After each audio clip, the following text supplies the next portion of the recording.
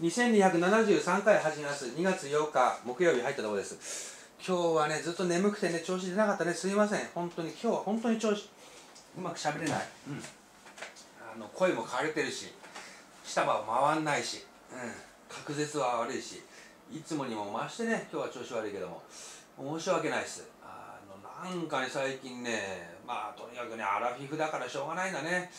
うんやっぱり調子出ないんですよ。絶好調っていうことがないねもうね。この年になると、えー、今回、えー、2273回役所が偽装請負を強要っていうことで強要ね強要、うん、裁判所をハラスマハラスメントに認定したと。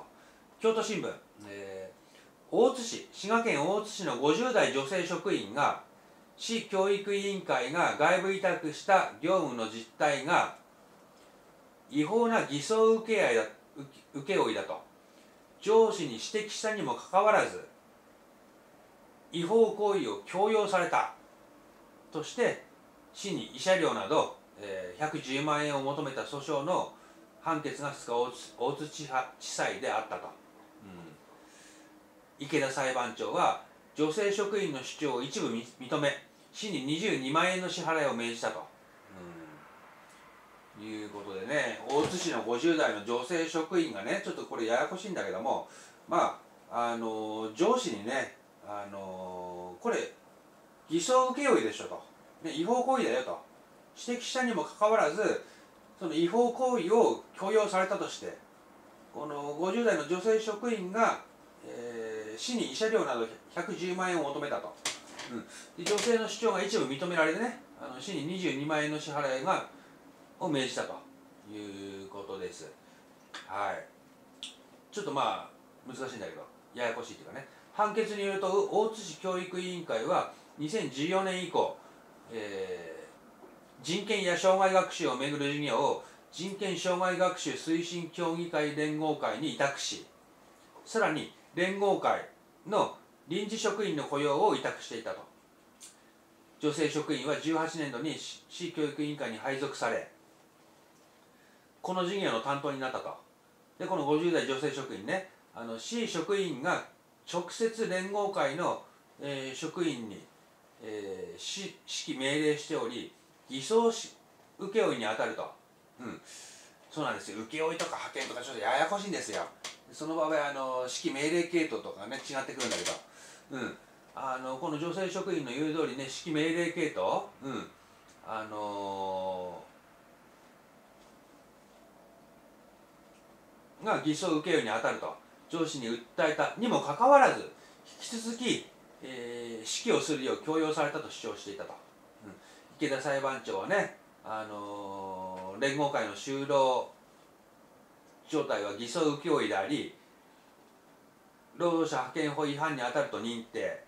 さらに上司が職務上の優位性を背景にこれですよ、うん、ね職場の優位性職務上の優位性を背景に違法行為を行うよう命令することもハラスメントと認定したと。いうことですね。はいはいはいはい。まあ大体ですけど分かりました。うん。あるねこれ本当まあ最近どうだろう。私派遣とか請負とか昔みたいにねあの流星極めてないんでね昔あのグッドウィルとかあったね。あの請負派遣っていうのかな請負っていうのかな。あと派遣会社もすごかった時期あったもんね。うん。昔ああの一時期に比べたらね派遣会社あと請負会社すっかりあのなんかおとなしくなってるけど。まあまあでも一定のねもうねあの地位確立して根付いてる、うん、だけどもあのまあ詳しくは私も私浮世絵の会社いたのかな？ちょっと。うん。また私がなんていうのかな？なあの要はねあのその派遣する側っていうかね請け負う側っていうかようなとこでやってたことあるんでちょっと詳しくねあの調べとかあるんですけど派遣と請け負いって全然違うんですよね。うん。法的にねあと指揮命令制度とか違うのね。はい。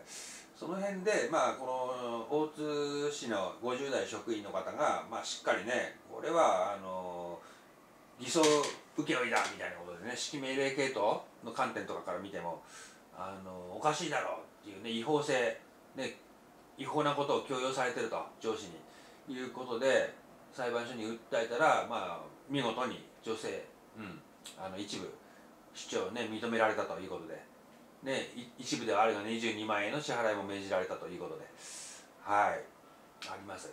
これねまあ役所とかでもあるね。そのパワハラっていうの、うん、ハラスメント、うん、あのー、違法行為違法行為を強要される。と辛いもんねこれね。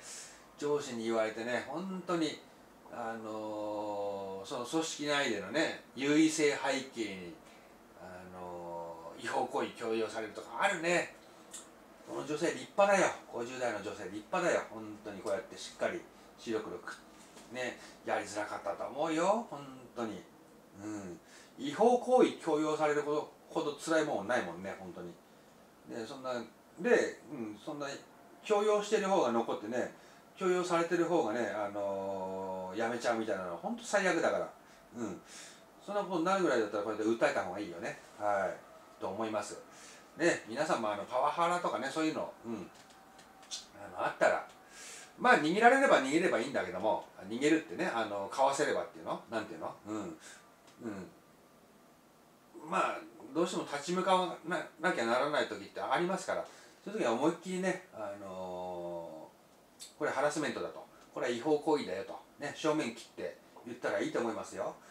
まあ特に役所とかだったらね、あのー、通りやすいと思う、うん、一般企業はねなかなか難しいんだけどね。本当に。あのー、辛いよ、うん、組織っていうのは隠蔽するしね。あのー、立場の強いその上司側につくからね大体組織っていうのは。厄介なことにね。ほぼほぼそうだから日本の組織は。もう共産主義みたいな感じでね。本当に困ったもんですよ。はい。この大津市のケース、うん、50代女性職員ね、うん、よくやりましたっていうことで。すごいです。はい、うん、あの役所が偽装請負強要ね裁判所は、えー、ハラスメント認定っていうねニュースしました。終わりたいと思います。チャンネル登録高評価お願いします。失礼します